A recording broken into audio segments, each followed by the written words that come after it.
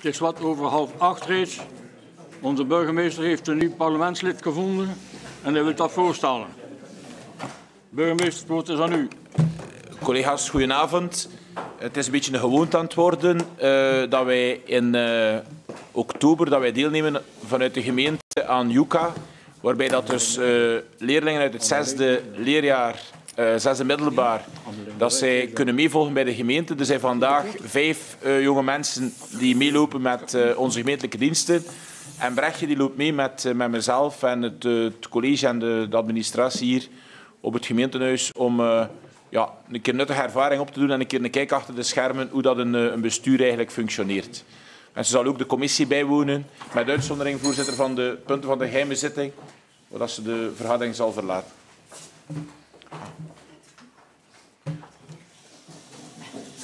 Oké. Okay. Ja, ja, ik had dit nog niet verwacht. Hè. Ja, dat is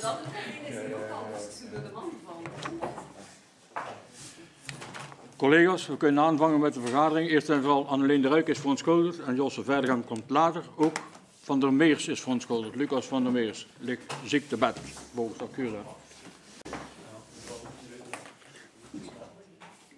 Kunnen we beginnen met het puntje 1, hulpverleningszonecentrum. Ah, dat hoor je precies. Ik ben een beetje te vroeg, anders vallen we onderwijs. Hè?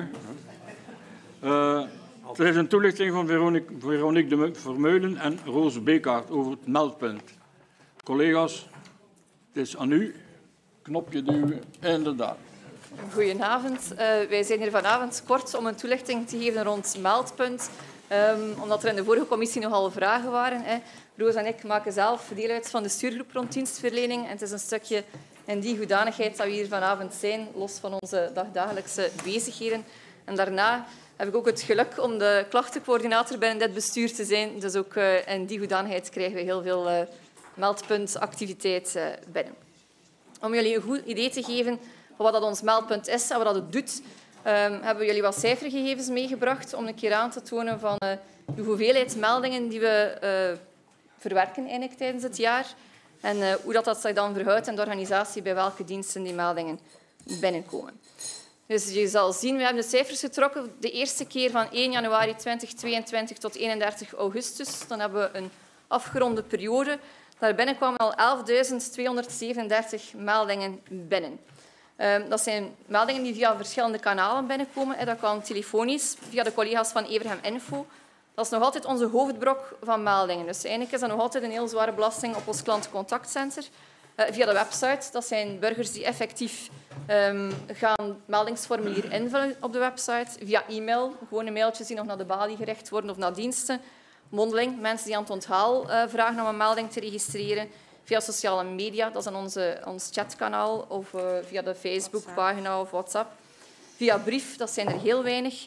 En dan uh, via het portaal kunnen er ook nog een aantal binnenkomen. Dat is een testfase, portaal. Ja, maar dat is een test. Dus dat zijn er nog maar zeven. Maar dat zal op termijn waarschijnlijk wel um, een beetje groter worden.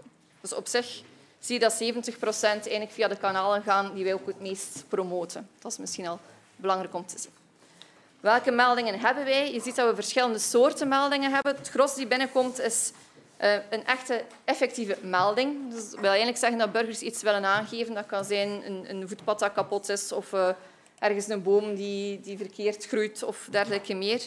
Dan hebben we nog 20% aanvragen. Dat is eigenlijk een stukje die we er in de toekomst misschien zouden willen uitkrijgen. Um, wat is daar ingekomen een tijdje? Uh, compostbakken en vaten is daar in geweest voor een periode. Um, dus dat zit daar eigenlijk niet zo 100% goed, maar we moeten ze voorlopig wel meenemen omdat we geen andere pakketten hebben. Terugbellen naar klant. Uh, dat zijn eigenlijk meldingen op het moment dat de burger Evergem Info contacteert. Proberen zij door te schakelen naar de dienst zelf. Is daar niemand aanwezig, dan gaan zij bij een meldpunt een melding maken van gelieve terug te bellen naar de klant. Um, hij heeft een vraag of zij heeft een vraag voor jou. Um, dus dat is eigenlijk 19% dus 20% van onze meldingen eh, wat nog vrij veel is. Ehm, dan hebben we ook 9,5% eh, infovragen. Dat zijn eigenlijk mensen die via Everham Info gewoon basisinformatie gaan vragen. Ehm, er worden ook afspraken ingeboekt met klanten. Je kan voor alle producten van burgerzaken kan je online zelf je afspraak maken. Maar er zijn een aantal diensten ehm, waar we eigenlijk werken met een soort vraag- en aanbodsysteem, waarbij dat de klant aangeeft, ik wil een afspraak, de dienst belt de klant terug. Kan het telefonisch opgelost worden, dan doen we het telefonisch. En anders wordt er een afspraak ingeboekt in een van de afspraakruimtes beneden, maar dan op vraag eh, van de dienst wat dat past binnen de agenda en ook binnen de voorbereiding van het dossier. Dan hebben we nog een aantal inschrijvingen, maar dat is ook iets dat op termijn gaat verdwijnen. Interne opdrachten, dat zijn meldingen die vanuit de ene dienst naar de andere worden doorgestuurd van kan jij voor mij iets doen. En als laatste, godzijdank, tot nu toe nog maar 59 klachten die rechtstreeks via meldpunt uh, zijn binnengekomen. Die komen eerst bij mij terecht als coördinator. Um, ik ga na voor welke diensten zijn. Ik stuur ze dan door naar de dienst en ik bewaak ook de termijn waarbinnen het antwoord naar de burger um, moet vloeien. Dus ik ben degene die een beetje kotert als het niet op tijd binnenkomt. Maar dat is de minste groep van alle meldingen die we binnenkrijgen. Dus op zich is dat wel een mooie score. En dan hebben we ook het aantal meldingen een keer verdeeld per dienst, om jullie een indicatie te geven van wat is onze grote slok op. En dan zie je eigenlijk dat 56 procent van de meldingen gericht zijn voor beheer openbaar domein. Dus als je merkt dat, dat er daar niet altijd tijdig wordt geantwoord of dat het wat langer duurt, je kan ook zien dat 56 procent, dat is immens, hè, van alles dat binnenkomt. Alle andere uh, diensten zijn een beetje verwaarloosbaar. Um, je ziet ook 15% sociale dienst, maar daar zitten we nog met het systeem dat de terugbelmeldingen zeer groot zijn. Dat is met nieuwe telefoonsysteem zou dat er op termijn moeten uitgaan. Maar daar zijn de terugbelmeldingen wel het grootste aantal. Maar op zich is 56% wel heel erg veel. En dan per behandelaarsgroep. Um, voor beheer openbaar domein, want dat zegt, er zitten eigenlijk een aantal groepen in. Bijvoorbeeld wegen zit daarin, groen zit daarin, projectwerking zit daarin. Dus dat is nog een beetje dieper in, ingeschaald tot op detailniveau van de allerkleinste groepjes binnen de organisatie. En dan zie je dat, uh, dat omgeving en wegen inderdaad ook de koplopers zijn um, met het aantal meldingen die binnenkomen. Dus dat is eigenlijk een, groot aandeel van wat er bij ons uh, binnenkomt. Ja, en dus de meldingen worden gemaakt en dan hebben we uiteraard hè, status van afhandeling. Nu, wij stellen eigenlijk een beetje als uh, organisatie voorop dat de melding maximaal binnen de 30 dagen afgehandeld is. Dat wil zeggen dat er een antwoord is gestuurd. Daardoor is de melding nog niet echt opgelost, maar is er wel een antwoord naar de burger. Dat wordt besproken op die commissie, dat wordt voorgelegd.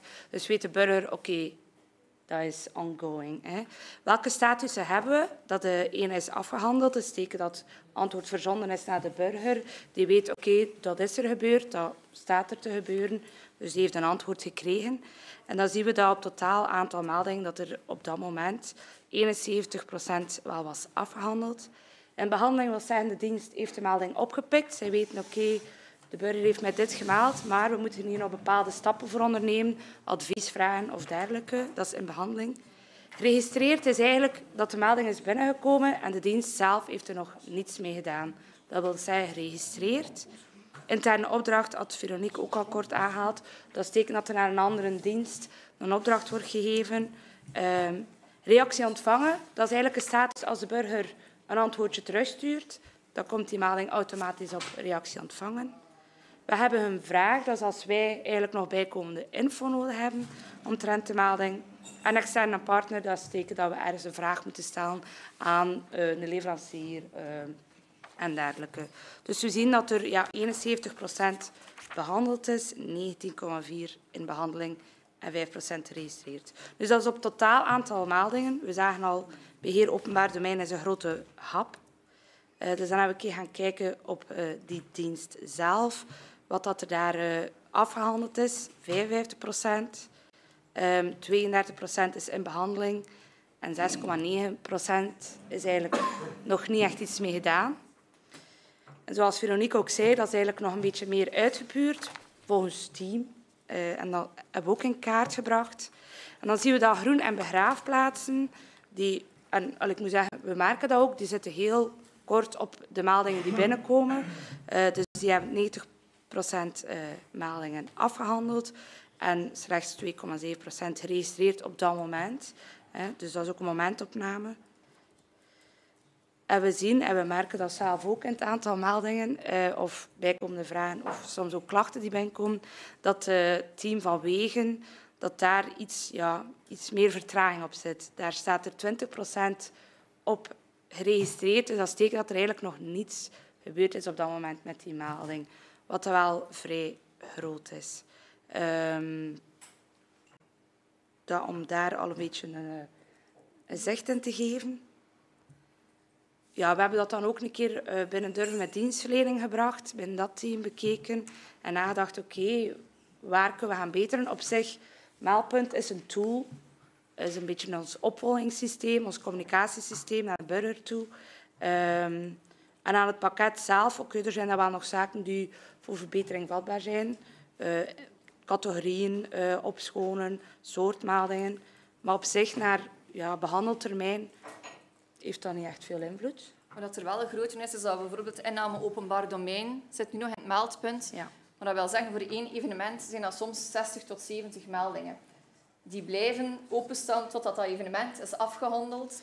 Maar dat zorgt er natuurlijk voor, als we die eruit halen, dan is ons percentage eigenlijk 82% van de meldingen die op tijd worden afgehandeld. Dus dat is eigenlijk een, een type van melding die daar ook niet correct in zit. Um, maar dat wordt opgelost. Er is nu een, eh, een, nieuw pakket in de maak en in ontwikkeling, waarbij dat inname openbaar domein uit ons meldpunt wordt getrokken en zijn eigen pakket krijgt uh, binnen een omgeving, waardoor dat ook daar uh, de cijfers zuiverder gaan worden naar, uh, naar meldpunt toe. En ook alle inschrijvingen die we nu zien staan, bijvoorbeeld Kinder- en Jeugdjury kwam ook vroeger in het meldpunt, zijn we nu aan het proberen omleiden naar Recreatex, zodat, ook, zodat eigenlijk de essentie van meldpunt terug meldingen en klachten wordt en niet zozeer alle andere zaken die er rond zitten. Dat gaat een zuiverder beeld geven naar jullie toe ook van hoe zit het met de cijfers en ook iets makkelijker voor ons um, om te gaan opvolgen. Wat we ook gaan doen, is het opfrissen van meldpunt bij de diensten. We merken dat er een aantal diensten... Hè, we zijn gestart in 2017 uh, met meldpunt, uh, met heel wat nieuwe, frisse medewerkers in huis. Uh, zorgt dat er soms wel voor dat een overdracht een beetje fout loopt of dat ze niet altijd 100% weet wat dat pakket kan. Dus dat is eigenlijk de taak van Roos en mij om de diensten waar we merken dat er grote vertraging zit, en Wegen is daar één van, uh, om daar in de komende maand uh, eens naast een nieuwe collega te gaan zetten en een keer goed te gaan uitleggen van wat kan dat meldpunt, werken er op een goede manier mee. Uh, we zien bijvoorbeeld soms wel dat um, mensen van bepaalde diensten wel antwoorden op de meldingen, maar de status niet aanpassen. Die status blijft op geregistreerd staan, maar ze hebben er wel iets mee gedaan. Of ze hebben wel een actie ondernomen, maar ze zijn gewoon vergeten om die klant te verwittigen tussentijds.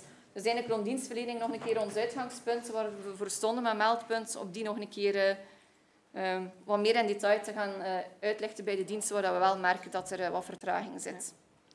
Wat we ook merken is eigenlijk dat we naar de burger toe zelf ook nog een keer meldpunt moeten opfrissen. Ook tonen hoe vlot het wel werkt in veel gevallen. Maar ook waarvoor dient dat? Er komen daar soms ook vragen in toe dat niet echt voor het meldpunt zijn. We merken eigenlijk ook soms personeelsleden het meldpunt gebruiken in plaats van de service desk. Dus er komt daar ook wel redelijk wat meldingen in terecht die daar niet thuis horen.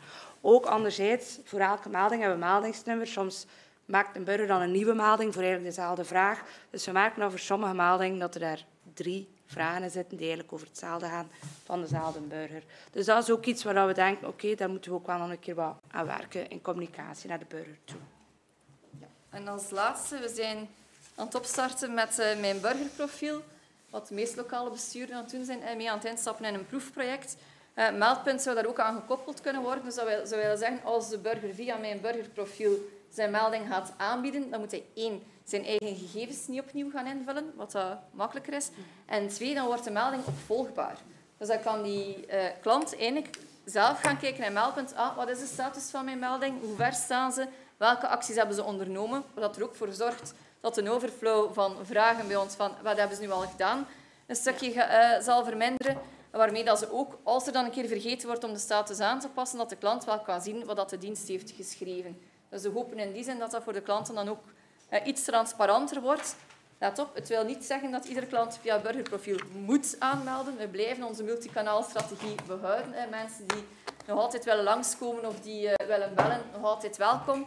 Maar daar moeten we wel meegeven, zij gaan die opvolging niet zien. Hè. Het is enkel de mensen die via het burgerprofiel inloggen, um, die, wel die, mogelijkheid, uh, die wel die mogelijkheid krijgen. Maar dat zou misschien ook een stukje overflow kunnen uh, vermijden. Voilà. Ja, en daar zijn we een beetje op uitgekomen.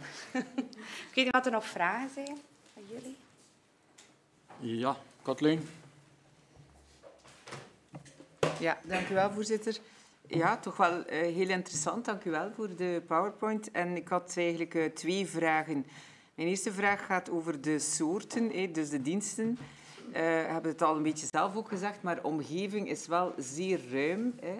Um, ja, het wordt al later wel opgesplitst, maar uh, ik zie dat jullie dan toch... Uh, uw, voorlaatste en tweede laatste dia gaat dan over ja, specifiek voor groen en begraafplaatsen en, en wegen, als ik het goed heb. Maar het zou mij ook wel interesseren om, om degenen die dan bovenaan staan meer in detail te kennen van omgeving. Want je zei daarnet van... Veronderstel, like, neem nu, er is een vijf en mensen melden van... Dat is toch geen omgeving? Nee, dat is evenementen. Ah ja, ja, ja, omdat je het voorbeeld gaf van... Soms gaat er over één... Allee, ja, ja. Op één avond, bij wijze van spreken, zitten er misschien 50 mensen achter, heb ik overdreven. Uh, achter de dingen van, dat zijn dan 50 meldingen ja, natuurlijk klopt. over dat één, maar dat blijven wel 50 meldingen. Hè. dus daar kun je ook wel iets uit leren. Hè. Maar uh, allee, mij zou interesseren, die omgeving, zit daar bijvoorbeeld ruimtelijke ordening in? Mensen die komen klaar. Allee, en dan zou het mij interesseren rond ruimtelijke ordening, van hoeveel wordt daar, wat is het percentage daarvan afgehandeld? Hè? Want dan kom ik naadloos naar mijn tweede vraag. Hè, en dat is, als het in behandeling is, dan krijg ik als burger geen, geen antwoord. Hè. Nee. nee. En ik denk dat ik altijd de malchance heb van bij die dertig te zitten die in behandeling zijn. Want het aantal keren dat ik het meldpunt gebruikt heb, vaak namens een burger, dan moet ik jullie teleurstellen, maar dan heb ik, denk ik, op tien keer, negen keer binnen de dertig dagen geen antwoord gekregen. Hè. Uh, maar als je mij zegt, ja, 70% wordt afgehandeld, tout court. Maar ik denk dan dat het wel fijn zou zijn om, om misschien een keer gewoon te laten weten van, kijk, um, ja, we hebben het goed ontvangen. Je krijgt dan wel zo een, een digitaal dingetje ja, van. Uh, ja, maar dat zou wel fijn zijn, want mensen zeggen, ik heb daar niets meer van gehoord. Hè. Ja. Niets meer van gehoord. En, maar ik ben heel positief over dat burgerprofiel. Ja. Want dat gaat zo'n beetje like, je pakgevolgen van Bipost. Hè. Uh, en dat kan daar wel een heel goed antwoord op zijn. Mensen gaan dat kunnen zien van oké, okay, ze zijn ermee bezig of het zit bij die en dienst, e- eventueel kunnen anticiperen. Dus daar verwacht ik wel veel van. Maar nu hebben wij, want wij zijn altijd het eerste voor in de gemeenteraad te brengen van ja, en hoe komt dat? Mensen, eh, maar mensen spreken ons daarover aan van ik heb dat ingediend en ik heb nog nooit geen antwoord gehad. Uh, die 30 dagen is ook niet dat is een beetje arbitrair. Je zegt, wij, wij proberen binnen de 30 dagen. Hè. Het, is een, het is een richtlijn, omdat we inderdaad een aantal meldingen hebben die gewoon niet realistisch zijn om binnen de 30 dagen op te lossen. Maar we moeten effectief wel werken en op de diensten om, als ze er iets mee doen, je kan perfect een status-update sturen naar je aanmelder. Als ze dat zouden doen tussenin, en dat is, dat is één knop induwen en het antwoord komt er automatisch op, ja dan zou je de tussentijd wel een keer een antwoord krijgen. Kijk, we staan nog daar. Of we wachten op een externe partner. Dat kan twee, drie Moet je eerlijk zeggen dat ik dat wel al een keer had hebben als ik twee vragen in één gestuurd had. Dat men mij zei van, kijk, op de ene vraag kunnen we dan onmiddellijk antwoorden. De tweede gaan we verder onderzoeken. Maar dat was dat waarschijnlijk toevallig, omdat ze op die ene dan toch aan het antwoorden waren. Ja, dus. Maar daar denk ik dat er qua communicatie... Naar, want de burgers hebben nu... Ja, ik hoor... Allez, mensen in de straat zeggen, ja, moet het daar niet naartoe sturen, want krijgt daar toch geen antwoord van. Hè. Uh, dus dat is niet goed. Hè. Wat we soms ook wel merken, want ik zit dan aan de, de klagers komen dan bij mij, is dat we soms wel hebben dat mensen zeggen, ik krijg nooit geen antwoord. En als ik naar de melding kijk en meldpunt, dan zie je wel al drie status-updates. Ja. Dat ze wel ja, ja, ja, ja, ja, maar soms ook niet het antwoord Maar wij nemen dat, zelf ook met een korreltje uit. Hè. Maar, maar um, ja, het is nooit goed als burgers het gevoel hebben dat ze in de steek laten worden. Hè. Dus, uh, Oké, okay, dank inderdaad een beetje attitude ook. Hè. Inzicht geven bij Vaak kunnen medewerkers klachten voorkomen door al een keer kort een statusupdate te geven. Dus dat is een beetje wat attitude dat we wat willen bijschaven. Ja, Eddie. Ja. Goedenavond. Uh, bedankt ook voor de voorstelling. Uh, ik zit met een paar bedenkingen. Uh, met hoeveel mensen zitten jullie op, daaraan bezig, aan dat meldpunt? Met hoeveel personeelsleden voltijds? Want ik zie 11.237, dat is al een serieuze hoop. Oké, okay, het is daar een deel telefonisch en een deel uh, via de website. Dat is geen, dat is geen equipe, hè. Nee. Je hebt even Menvoer, die ik denk wel een groot deel van de meldingen capteert, registreert en dispatcht naar de mhm. diensten. Mm -hmm. Maar dat is op, op iedere dienst, iedereen kan een ja. meldpunt bij de behandelarsgroep. En het is degene die de melding Nee, maar ik bedoel, degene die de eerste contactpunt is bij het meldpunt. Ja, dat is, Ibrahim Menvoer, ja, Ene persoon. Dat bent u. Nee, nee, nee. nee. De, de poelen Everham Info. Dus eigenlijk en met hoeveel zijn jullie dan? We zijn met 14 half tijd. Ah ja, 14 half tijd. Dus ja. 7 eigenlijk, ja. Ja. Oké, okay, goed. Ja.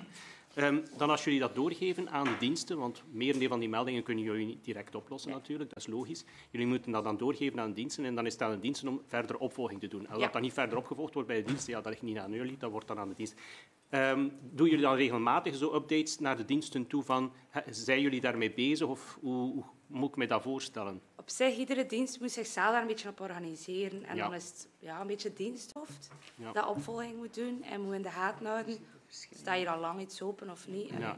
Dus elke dienst organiseert zichzelf. Bij ons, bij communicatie, ik volg dat meestal op, want voor Evra Info zit ik daar toch dagelijks in. Mhm. En dan pork ik mijn collega's aan of zeg ik, oh, wat moet ik hier een keer op antwoorden? Ja, ja. Maar iedere dienst is daar anders in. Het is niet zo dat het systeem zo is ingesteld dat na x aantal tijd men bijvoorbeeld een herinneringsberichtje krijgt naar de dienst. Want in sommige besturen is dat zo, dus dat dat in een systeem staat. En dat systeem registreert wanneer er effectief een opvolging is. Als men dat niet heeft, of men heeft dat opgevolgd, maar men heeft maar niet geregistreerd, die opvolging, ze, krijgt die dienst of die persoon van die dienst een, een melding van kijk, hebt er nog niks mee gedaan tot nu toe. Of het is in elk geval niet geregistreerd dat je er iets mee gedaan hebt. De melding wordt wel rood. Op het moment dat Ja. hij zijn streefdatum Ja. overschrijdt, wordt hij rood. Ehm, Ja. En in het managementteam eh, wordt er ook regelmatig een keer gezegd, let op, meldpunt, dat is eh, Mhm. wat zou het hoogst en vaandel dragen van dienstverlening. Dus het komt wel heel vaak aan bod. Ehm, maar het is, dan, het is zeer dienstgebonden dat ermee omgegaan wordt. En eh, Ja. dat willen we nu een stukje dit najaar nog een keer eh, gaan aanpakken door op de diensten langs te gaan en ook een keer op maat te vragen van wat is jullie probleem, waar botst het tegen? Is, misschien is er al iets dat we voor hen kunnen doen dat ze nu gewoon nog niet weten. Ja.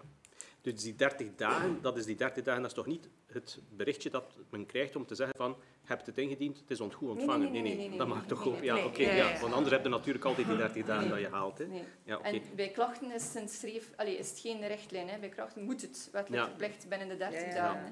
Oké, ja, goed. ja, het is nog niemand... Ja, oké. Ehm, maar ook een vraag van... Een groot deel van de meldingen of klachten, hoe dat je het ook formuleert, is wel telefonisch, is toch duidelijk. Dus dat is niet tegenstaande dat men ervan uitgaat dat mensen zeer digitaal geletterd zijn. Ja. Het blijkt toch bijna het merendeel zelfs telefonisch is en dan pas digitaal. Dus dat, dat is toch wel een, een duidelijk... Ja, dat een Aspect. beetje gelijk is. Of, allee, ja, het is in elk geval rond maar ja, de... het is ook een groot aandeel. Het is een zeer groot aandeel als je dat zo ziet. Dus eigenlijk is dat misschien ook wel om mee te nemen dat, dat ook niet iedereen digitaal geletterd is en dat men rapper de telefoon pakt dan dat men aan de computer of zijn smartphone gaat pakken om dat eh, te melden eigenlijk. Ja. Dat is toch wel een al- Ja. Belangrijk element, vind ik, Ja. eh, uit, uit die rij. Het is ook vaak zo dat mensen aangeven dat ze niet goed weten hoe dat ze het moeten formuleren. Dat het makkelijker is om het uit te leggen wat dat het probleem is dan dat ze het uitgetikt krijgen. Ja. Ehm, Wel, ik, heb, ik zit me soms ook te ergeren als ik aan het meldpunt bezig ben. Van ja, naam, oké, voornaam. En al die gegevens intikken voor uiteindelijk voor iets te melden dat je misschien via de telefoon in vijf seconden kunt uitleggen. Ja. En wel, ja, daar begin ik zo mij wel wat ambetant te maken als ik zoiets moet melden. Dus ik weet niet in hoeverre dat daar ook iets kan aan gedaan worden. Want als je dat... Allee, ja, goed, ik ben wel digitaal geletterd Ja, tot op zekere hoogte, maar allee, ja, alleen al de tijd steken om dat allemaal Ja. in te geven, ja, dat burgerprofiel kan eventueel een oplossing ja, dat geven. zal daar een oplossing voor hopen. Hè. Ja, Maar, oké, dat was het. Dank u wel. Bij profietprofiel. Christine, Duke. Ja, Dank u wel. Dank u wel. Goedenavond iedereen. Eh, dank u wel voor de uitleg. Want allee, ik moet zeggen, wij hadden ehm, vorige maand niet, maar eh, ik denk in augustus, hadden wij daar een vraag rond gesteld vanuit de fractie. eh, om, om, omdat we voelden ook langs alle kanten dat het meldpunt, alleen natuurlijk dat is eh, subjectief, de burger eh, zal rap klagen, dat weten we ook wel. Ehm, nu, allee, ik ben blij te horen dat er, allee, dat er eerst en vooral geëvalueerd wordt en dat er ook aan verbetering gewerkt wordt, hè, wat dan wel echt niet evident is eh, met, eh, eh, met het personeelsbestand die er is en zo. Eh, maar ik had nog een paar vraagjes eh, in verband met... ehm, ik, er is dus veel over mobiliteit, eh, omgeving, wegen, mobiliteit. Nu, ik, ik heb bijvoorbeeld een, een... Het is een voorbeeld van een meld, melding. En dat gaat, en ik denk dat jullie dat misschien zelfs nog weten. Het is een, melding van eenzelfde burger die al heel lang en heel dikwijls gemeld heeft in verband met het voetpad van de Zandberg in Elslo. Eh, tot eh, dat, dat, dat je daar gewoon niet kunt zien dat het te smal is enzovoort, dat er een haag is van ik niet hoog. Ehm, ik heb dat hier zelfs al op de gemeenteraad gebracht. eh, en tot nu toe, uiteindelijk is dat over jaren al ondertussen, en tot nu toe is er daar eigenlijk nog niks, niks aan veranderd.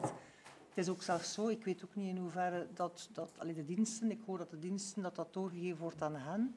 Ehm, en dan heb ik, ook, heb ik wel het gevoel dat bijvoorbeeld... Allez, ik weet niet wat de rol van de schepen dan is, bijvoorbeeld.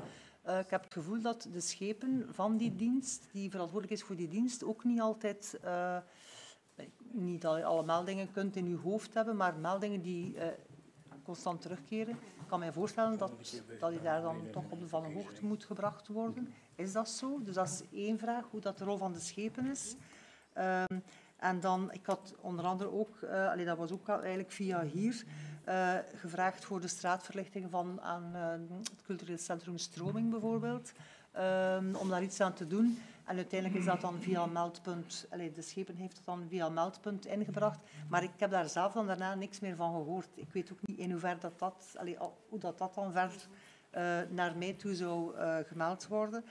Um, dus ja, dat, is zo'n beetje de, ja, dat zijn zo'n beetje de vragen die er zijn. Want uh, ja, het is niet alleen bij mij, maar ik denk bij veel anderen gemeenteraadsleden dat, er, dat het, het, meldpunt is een een constante zo bij burgers van ja, ik heb dat gemeld, dit en dat. En, ja. en dat, dat, dat ligt heel gevoelig, heb ik de indruk. Men hoopt natuurlijk op heel veel en heel vlugge antwoorden en oplossingen. Uh, wat dat natuurlijk niet kan, altijd. Maar ja, dan toch die twee vragen om een keer te horen um, hoe dat ik daar ook kan uh, verder mee, mee, voort, mee voortdoen bij de ja. burgers. Ja, op uw eerste vraag, dat hangt een beetje af op welke manier dat de melding binnenkomt. Als dat gewoon via het meldpuntformulier is, dan gaan wij, dat is even info eigenlijk, dan gaan wij niet direct de bevoegde schepen koppelen. Het zijn vaak gewoon ja, eenvoudige meldingen of vragen. Soms komt er ook wel iets binnen via de schepen zelf, dat komt dan bij Ibrahim Info. En dan gaan zij wel in het meldpunt, dus dan gaan ze, uh, als ze de gegevens hebben van de burger, gaan ze dat op naam van de burger zetten, zodat dat die een antwoord krijgt. En koppelen ze schepen er ook wel aan zodanig dat het antwoord van, uh, van de dienst zowel naar de burger als naar de bevoegde schepen wordt gestuurd. Dus dat is een een antwoord op je eerste vraag. Um, wat hebben, kun je me even helpen? Wat was de tweede vraag? Uh, wat, wat, wat er dan gedaan wordt uh, aan, aan bepaalde meldingen die al heel lang lopen en die eigenlijk ook al herinneringen, ja. herinneringen stuurt via dat meldpunt over hetzelfde. En dat er dan eigenlijk um, ja, ja. niets mee gedaan, nee, niets mee gedaan wordt, is het goede woord niet in. Ah, ja. Als er dan niets mee gedaan wordt soms, Ja. in de zandberg, uh, dat is echt een probleem. Want uh, ja, ik ben daar ook gaan kijken naar, ik rijd er ook zo met de fiets. Uh, Ja. bereikbaarheid is- de bereikbaarheid is daar ja, nul als fietser. Dus ja, dat blijft maar duren. Ja. En ja, dat, dat is politieregel dan gezegd dat uh, privé mensen hun hagen zo moeten scheren uh, dat de zichtbaarheid groot genoeg is.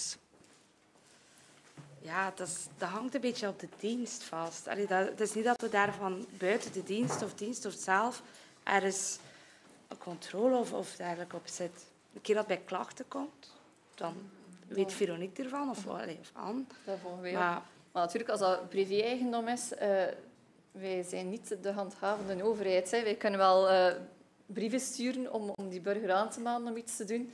Ehm, en dat zie je ook heel veel met, met, met andere zaken. Bijvoorbeeld, mijn buur heeft dat of dat. Oké, dan moeten wij dat doorsturen. Ehm, en zeggen van, ja, als er hinder is, op het moment dat er zich voordoet, moet je wenden tot de politie. Maar ja, dat zijn spijt. Er zijn ook een aantal zaken die niet ontvankelijk zijn, omdat die niet binnen onze bevoegdheid eh, vallen. Hè. En hoe dat afspraak met de schepen valt, is eigenlijk wel nog belangrijk. We beroepen ons een stukje op de dienst. Dat is met klachten ook zo. Dat ik meestal aan de dienst zeg van kijk, ik heb een klacht binnen, bespreek dat met uw schepen.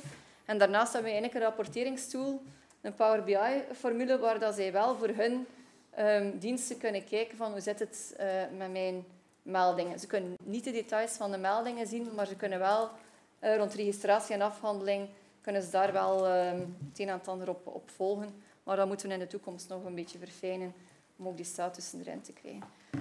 Maar het is, het is, zeker als het op privé-eigendom is, eh, zijn dat heel moeilijke meldingen om op tijd opgelost te krijgen als die burger ook voor een stukje niet mee wil. Ja, Paul. Alles is bedankt voor jullie antwoorden. Ik ga hier eerst mijn knop zoeken. Ah, oké. Goedenavond iedereen. Ehm, ja, ik wou nog even verder eh, op, de, op, op hetgeen dat Christine ook zegt. Ehm, omdat ik eigenlijk zelf ook regelmatig gebruik maak van dat meldpunt, eh, kan ik dat wel een beetje inschatten. En ik vind, het is natuurlijk altijd heel sec het antwoord. En het, eh, ik heb eh, het gevoel dat, dat men eigenlijk de burger ook soms wel iets meer op het goede weg zou kunnen zetten. Want je krijgt daar een antwoord op je, op uw vraag. Om u voorbeeld te geven van, van ja, zijn daar bomen, is daar, is daar een omgevingsvergunning? We denken dat er daar bomen, dat ze bomen aan het kappen zijn. Uh, dan, dan krijg je het antwoord van nee, daar is geen omgevingsvergunning op die plaats. Maar dan denk ik van, dat de burger misschien wel verwacht van wat moet ik nu doen? Want eigenlijk is er geen, geen advies of geen, en dat is misschien niet de rol van het meldpunt, maar ik denk dat de burger dat wel verwacht. Moesten we dat kunnen, dat zou het de ultieme vorm van dienstverlening zijn, maar dan denk ik dat we naar uh, doorlooptijd... Uh, inderdaad wel, dat kost heel veel tijd dan. Hè. Voor diensten als omgeving die heel veel meldingen hebben. Het zou mooi zijn als we dat kunnen realiseren. Um, maar dat hangt inderdaad ook van de dienst, van de dienst zelf af. Hè. Um, we proberen daar wel zo hard mogelijk aan te werken om te vragen van geef zoveel mogelijk informatie mee als je kan. Maar dat is niet altijd uh, een makkelijke boodschap. Hè. Ja, Christine. Ik zou in die zin nog een, uh, iets willen vragen daarover. Uh, wat, wat, wat kan je ons aanraden als wij, laten we zeggen, uh, ja, klachten krijgen over het meldpunt? wat kan je ons aanraden om dan in het beste geval te doen? Om toch op een of andere manier alleen jullie dienstverlening, die eigenlijk wel zo goed mogelijk in, in elkaar zit, om daar dan toch alleen een positieve draai aan te geven, ik zo zeggen. Op zich, als ze echt klagen omdat ze niet tijdig een antwoord hebben gehad, dan wordt dat een klacht. Hè. Dan mogen ze dat gerust doorsturen. Ja, een klacht hoeft daarom geen gegronde klacht te zijn. Hè. Maar het voordeel is wel dat wij dan gaan kijken van, is er geen antwoord gekomen? Of is het omdat het het verkeerde antwoord was dat ze kregen en is niet het antwoord dat ze willen horen, bijvoorbeeld? Maar er wordt er wel onderzoek gedaan naar hoe komt dat, dat die melding zo lang is blijven liggen. Is dat omdat er iemand ziek was? Is dat omdat er um, geen antwoord is of dat we wachten op een derde partij. Um, maar dan hebben we wel wat meer ruimte om, om bij de diensten te gaan, gaan kijken of te gaan aansporen van let daar een keer op, wat is, er, wat is er daar fout gegaan? Omdat je daar met die wettelijk verplichte termijnen zit. En dat ik wel blijf gaan totdat ik een antwoord krijg. Natuurlijk, tussen die 11.000 en zoveel meldingen, um, wij hebben geen mogelijkheid of tijd om daar regelmatig een keer door te scrollen om zelf te gaan kijken wat staat er rood uh, en waar moeten we op letten. Maar als je echt uh, mensen krijgt zegt, we hebben al drie, vier keer een melding gedaan um, en er is niks, of er is niks gebeurd, laat ze een keer bellen of laat ze een keer uh, een melding sturen. Dan komt het bij mij terecht en dan kan ik, dan kan ik kijken of dat klopt of dat het niet klopt. Hè. En klopt het niet, dan is dat een ontvankelijke niet gegronde klacht. En is dat wel zo, ja, dan, dan is dat een gegronde klacht. En dan is dat inderdaad iets waar we mee naar de diensten kunnen om te zeggen, let op, je hebt hier vier, vijf klachten rond niet tijdig antwoorden dat moet beter. Maar als het in de lucht hangt, blijft het in de lucht hangen. Hè. Dan hebben we ook geen cijfermateriaal om naar die diensten te gaan van... Uh, uh, let op, hè.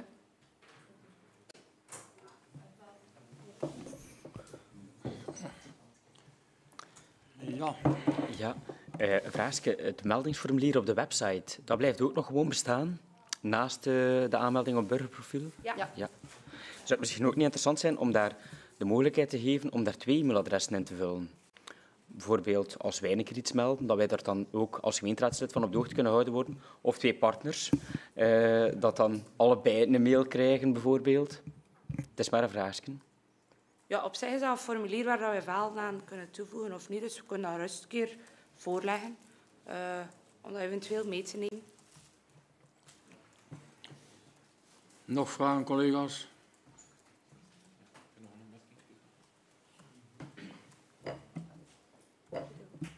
Uh, bedankt, Veronica Roos. Het is inderdaad iets wat regelmatig aan bod komt uh, op de gemeenteraad. De werking van het meldpunt. Het is goed dat we een keer een overzicht uh, hebben. Ik blijf in de overtuiging dat dat een stap vooruit is in vergelijking met de zeer diffuse ontvangst van berichten die we in het verleden kregen naar sommige diensten, al dan niet terecht, dat dat één ingang eigenlijk is bij onze gemeentelijke administratie. Maar ehm, veel van die zaken lopen al goed, kunnen hier en daar nog wat beter.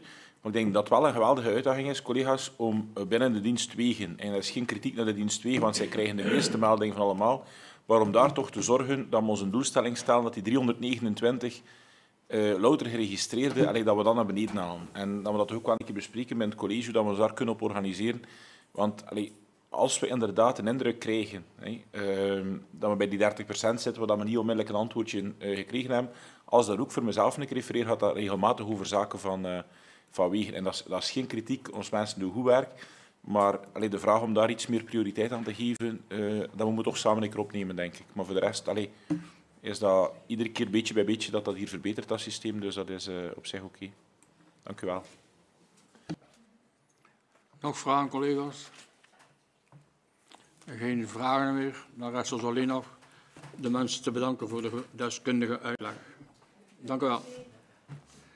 Collega's, ik heb een vraag. We hebben twee geheime zittingen, één in de gemeenteraad en één in raad maatschappelijk welzijn. Kunnen we die naar het einde van de zitting doen? Of anders is uh, onze co-burgemeester uh, een sport aan het doen. Van haan en keren en haan en keren. Kunnen we dat overtillen naar het einde van de raad? Iedereen met akkoord? Ja, oké. Dan kunnen we aanvangen met het eerste puntje van de gemeenteraad. De hulpverleningszone Centrum Goedkeuring, dotatie 2023, beslissing voor Jury. Jury, het is aan Joen. Voorzitter, voorzitter uh, wij, wij zijn hier, het is net een spelletje met vier op een rij die uh, graag via meldpunt zouden melden dat we niet ingelogd geraken. Uiteraard gaat dat niet. We hebben met vier uh, Uiteraard gaat dat niet, maar dat wordt heel moeilijk om de zitting te volgen. Hè. Maar dat is en dat is niet voor het eerst, maar de vorige keren, na lang sukkelen en prutsen, die lukt dat hier, maar nu stel ik vast, uh, ik ben niet de domste van de zaal, we zijn met vier op rij. Met zijn er nog? We geraken niet ingelogd. Dus, allee, dat... En ik was, hier, ik was hier op tijd, een kwartier op voorhand, omdat ik mij aan problemen verwacht. Maar kijk, ik weet niet hoe laat dat nu is, maar het lukt dus helemaal niet. Maar waar lukt het niet met mijn, met mijn gsm op uh, wifi te komen?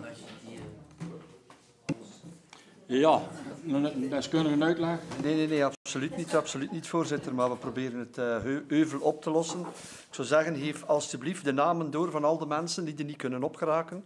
Misschien kan het ergens met een instelling van de, van de PC uh, te maken hebben, van de laptop, sorry, van de laptop te maken hebben. Geef de namen door en we gaan het, uh, we gaan het voorleggen aan ons, ons verantwoordelijke bij de dienst IT.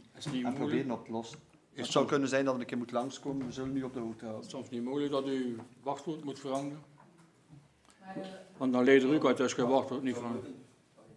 En thuis werkt het perfect. bij mij gaat het nu wel met elkaar, maar het is een half uur. En die okay. telefoon lukt het op internet. Uh, ja, dat is miserie. Ja.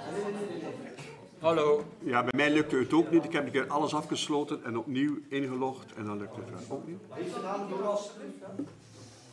Oké. Okay. De naamjes doorgeven. Burgemeester, het zal kijken maar. Goed. Kunnen we aan het eerste puntje beginnen? Burgemeester, het is aan nu. Collega's. Ja. Een belangrijke weerkerende kostenpost ieder jaar is uiteraard onze bijdrage, onze dotatie aan de brandweerzone. Um, ik hoef het jullie niet te zeggen dat bij de verschillende overheden momenteel de budgetopmaak in functie van 2023 dat dat eigenlijk zeer moeizaam verloopt. Um, wat de brandweer betreft uh, spelen natuurlijk ook die uh, externe factoren, energiekosten en dergelijke meer, en, en de brandstofkosten uh, zeer sterk. Maar toch is het zo dat wat de brandweer betreft, dat de dotatie die wordt voorgesteld voor 2023, dat die nog altijd binnen de marges ligt, zoals we die eigenlijk al met de brandweer in 2014 hebben afgesproken. Dus over die periode van 10 jaar, de, de, de upgrade naar die 2,1 miljoen, wat dan op dat ogenblik het maximaal bedrag zou zijn voor ons als gemeente Evergem, waarbij dat we dan uh, volledig uh, toepassing maken van het federaal KB, daar blijven we nog altijd uh, onder. Dus ik denk dat we nu voor 2023 ongeveer 1,9 miljoen euro zullen betalen aan de brandweer en het maximum naar 2024 was destijds uh, geschetst op 2,1 miljoen euro. Dus in die zin uh, blijven we daar binnen de, de marges, binnen de krijtlijnen die destijds zijn afgesproken.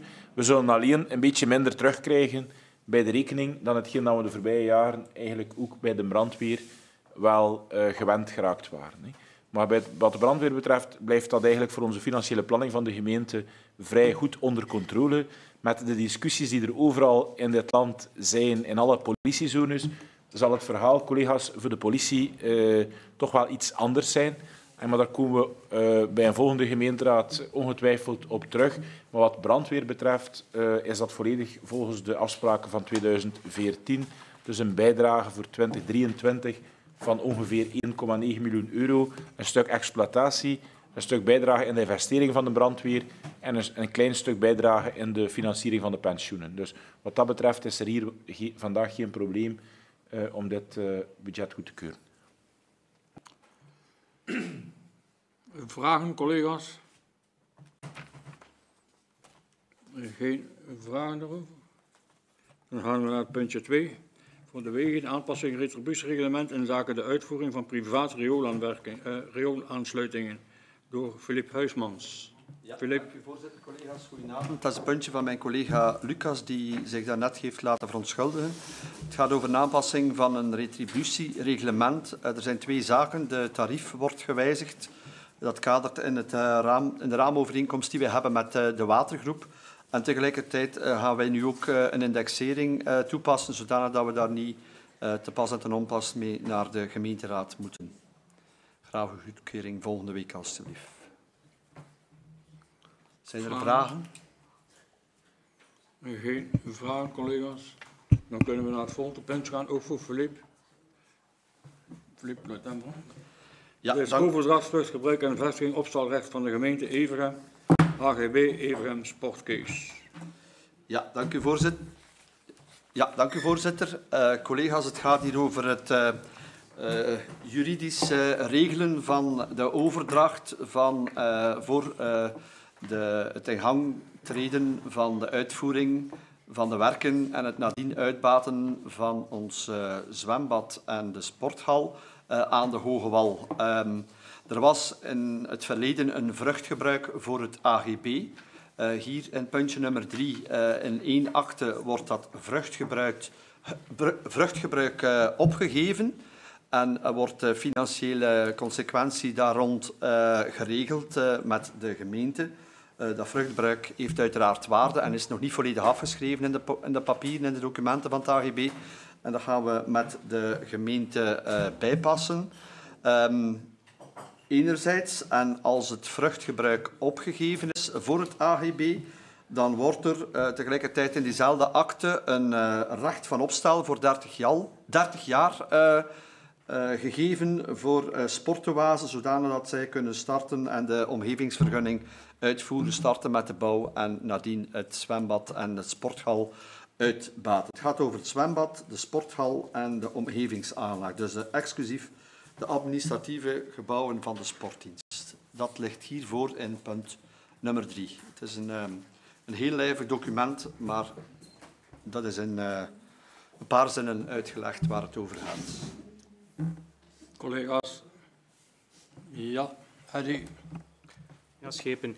Als ik het goed begrijp, want ik heb het uh, document nog niet helemaal kunnen doornemen, wordt het vruchtgebruik dus overgezet van het AGB naar sportoase. Dat klopt? Nee. Lekker, Kunnen misschien. Het vruchtgebruik, het vruchtgebruik van het AGB wordt stopgezet. stopgezet ja. En als dat is stopgezet, dan maken we een recht van opstal voor sportoase. Okay, ja. Dus het zijn twee, uh, het zijn twee andere juridische ja. vormen. Ja. ja. Dat betekent ook dat dat dan wegvalt in de werking van het AGB in feite. Ja, ja. Dat is het eigenlijk. Hè? Dus dat Uiteraard. valt dan weg. Ja. Oké. Okay. okay. Nog andere vragen daarover, collega's? De rest van de sport ziet niet natuurlijk. Hè. Ik heb hier gezegd enkel het zwembad, de sporthal en de omgevingsaanleg uh, daaronder. Maar de rest van de sportsite en ook uh, de gebouwen van de sportdienst blijven onder AGB. Geen vragen meer? Oké, dan kunnen we naar puntje 5 gaan. Definitieve vaststelling, roeilijnplan, herinrichting. Vier. Vier, oh ja. Beheersovereenkomst gemeente OCMW en AGB goedkeuring. Ook door Filip. Als dat opstalrecht dan geregeld is in het vorige punt, er zijn nog uh, roerende en onroerende bezittingen aanwezig in die gebouwen. En ook uh, dat moet eigenlijk allemaal nog geregeld worden. Um, dat is één zaak. En tegelijkertijd zitten we met een praktische situatie dat uh, wij als AGB het zwembad nog gaan openhouden zo lang mogelijk. In principe tot uh, volgend jaar uh, juni, juni 2023. En de sporthal die wordt nog langer opengehouden. En eigenlijk om dat allemaal te regelen, moeten we... We hebben een beheersovereenkomst uh, met het AGB. En om dat allemaal te, regelen en ook... Um, om dat financieel ook allemaal recht te zetten, zal ik maar zeggen, of correct, correct in de boeken te brengen. Daarvoor wordt er een addendum goedgekeurd, zodanig dat het AGB, ondanks het feit dat het geen vruchtgebruik meer heeft, toch nog kan uitbaten zolang het zwembad open is en zolang de sporthal niet wordt overgenomen door sportoase. In een paar zinnen is dat een uitleg. Zijn daar vragen over? Oké, vragen. Dan kunnen we naar punt 5 gaan. Definitieve vaststelling, roerlijnplan, herinrichting, dorpskern, Riemen. Ook voor Philippe. Ja, dat is ook een dossier. Ja, dank u voorzitter. Ook dat is een dossier van mijn collega Lucas. Um, het, uh, het voorlopig roerlijnplan is hier al gebracht. Het openbaar onderzoek is uh, afgelopen en er waren geen bezwaren. En we vragen volgende week uh, het definitieve, plan, het definitieve roerlijnplan vast te leggen voor de herinrichting van de dorpskern van Riemen. Geen vragen? Dank u wel. Oké, okay, dan gaat dat vlug gaan. Puntje Z, goedkeuring huishoudelijk reglement, gemeenteraad. Door Rob Svensson. Rob. Ja, Rob, één keer, ja. Dank u wel, voorzitter. Collega's, we hebben dat in de vorige commissie reeds aangehaald en besproken en uh, overlopen. Um, het document is nu hier en zal volgende week uh, ter goedkeuring worden voorgelegd. Wat staat er eigenlijk in om daar kort door te fietsen? Niks nieuws, tenzij, tenzij het uh, digitaal vergaderen, wat we eigenlijk al deden en waarvoor in het huishoudelijk reglement niets voorzien was. Uh, de tekst die nu voorligt is volledig aangepast, eigenlijk is het omgekeerd, is volledig zoals we het al deden. Uh, dat komt vanuit de Vlaamse regering, heeft dat voorgesteld. We hebben dat eigenlijk bijna integraal overgenomen. Met die uitzondering, als je het woord vraagt, dat we dat niet gaan doen per handje, maar per chat, omdat wij dachten dat dat uh, praktisch toch wel anders zeer moeilijk was om te weten wie er eerst was. Um, en hopelijk hebben we dat niet meer nodig, want op dit moment uh, is er niets dat wijst op dat we terug digitaal zouden moeten vergaderen. Maar goed, uh, u weet wat de toekomst brengt. In ieder geval wil ik wel meegeven, als het terug zover zou komen, dat we dan niet op eigen houtje gaan doen, maar dat we toch eerst zullen overleggen met de fractieleiders. Wat we niet moeten, maar dat we wel zullen doen. Dank u wel. Vind je vragen rond? Ja. Ja, Kathleen. Ja, uh, voorzitter. Um, uw laatste is een beetje voortvaardig, denk ik, want op dit moment zitten we in een piek van COVID. Ik heb de gegevens rechtstreeks van de minister, die zich heel veel zorg maakt op dit moment. Uh, omdat we in een, in een piek zitten. En ik ben heel blij dat mijn collega de vensters openzet, want dat is nu juist wat we met z'n allen niet meer aan het doen zijn. Dat is namelijk ventileren. Hè. Dus ook daar is er een nieuwe wet gestemd rond het ventileren van openbare toegankelijke openbare ruimtes, die eigenlijk constant toch nog de kwaliteit van lucht zullen moeten blijven meten. Uh, in de hoop dat, we niet, dat de piek niet en verder doorzet. Maar, dus ik denk dat we toch wel moeten voorzien dat we ooit nog in een situatie komen dat we toch weer digitaal gaan moeten vergaderen. Uh, ja, dank u wel, Kathleen. Ik ben een, optimist. Hè. Ik ben een optimist, want ik weet dat we nu in, in de piek zitten en niets, niets uh, stuurt aan van nu digitaal te gaan vergaderen, ook op de, op de, de werken hier en zo en al. Nu, wat het ventileren betreft, en het, en het, daar heeft u wel een punt, hè. dat vind ik ook. Dat we daar, uh, dus ik zou zeggen, mensen die dicht bij het raam zitten en die goed gekleed zijn, of, dat kan nooit geen kwaad om op de veiligheid die we kunnen creëren, om dat te doen. Dus ja. Kun je misschien zo'n kwartier schoen opschuiven als ja, ja. Dan zit mannelijk in elkaar. Kun je misschien nog een kwartier opschuiven als het Dan zit mannelijk in elkaar. Oké, okay, goed. Zwans is er ook een keer bij. Nog vragen daarover, collega's? Ja, Paul? Uh, ik, ik, begrijp niet dat er eigenlijk hier geen meter kan, kan hangen worden. Uh, dat, is, dat is nu toch niet de, de mooiste wereld, niet, hè? Er is er één, hè, Paul? Dacht ik toch? Ja. Nee, toch niet? Ehm, dan trek ik mijn woorden terug. We hebben er altijd een gebruikt in de, in de, in de moeilijke periodes. Hè. Uh, um, dat is inderdaad ook juist. Ja.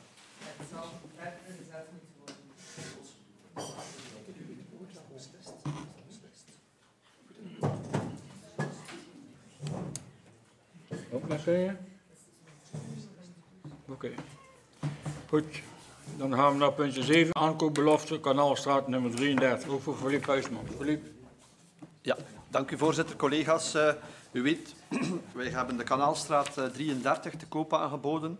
Uh, bij de eerste openbare verkoop was de geschatte prijs niet gehaald, maar na onderhandelingen die de notaris nadien heeft gedaan, is er toch tot een akkoord gekomen voor de schattingsprijs van 196.000 euro.